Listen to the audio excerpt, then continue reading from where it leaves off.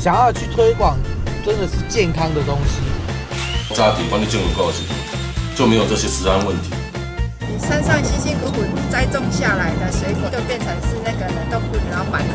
我们家的香水莲不在，就只有卖花茶。